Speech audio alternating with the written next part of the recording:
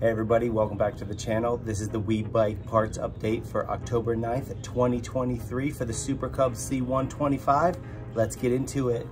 All right, so there are not many of us out here. So if you are into Super Cub content, specifically the C125, please like and subscribe. I would greatly appreciate it.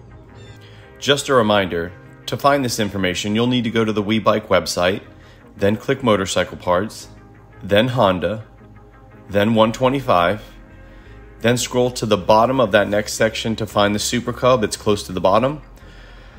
Then when you pull that up, you're going to scroll to the bottom of the page for uh, the new stuff. And we're going to be looking at three rear suspensions and an oil cover today. First, we'll start with the Takegawa oil filter cover kit. It's $42.33 at the time this video is being published.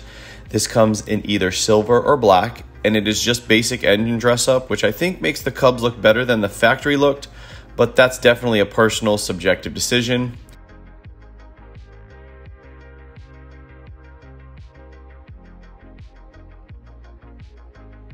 Next, we have the Advance Pro Zeta Rear Shock. These are $217.18 and come in a number of configurations. You can go with the standard stock setting or you can opt to have different filling pressures. How this will affect the handling of the bike with the different filling pressures, I'm not really sure to be honest with you. You'll either want to contact WeBike or the manufacturer directly for that answer. Uh, I love the color of this rear suspension, but I can't buy a suspension just based on the color.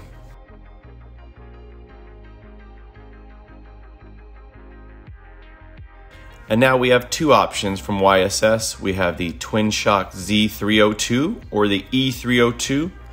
The Z series is going to be a more aggressive adjustable shock catering to the enthusiast that wants to dial in their setup. Uh, can also be used for track use. It has a nice clean design with the quality we have come to expect from YSS.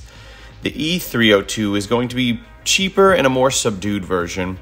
If you're just looking for a basic upgrade to your factory suspension that's go not going to affect the ride quality too much, this could be a good option for you. And as you'll notice, the E302 comes in at $259.64, while the Z302 is a little bit more expensive and is going to run you $321.46. If anyone has any model of YSS shocks, not just these, but any of them, please leave me a comment saying if you like them or not. I know these are very popular in the Super Cub community and a lot of people seem to have them, so I would just like your opinion. Okay, so that's it for this week. Please like and subscribe for more of this type of content, and I greatly appreciate you watching.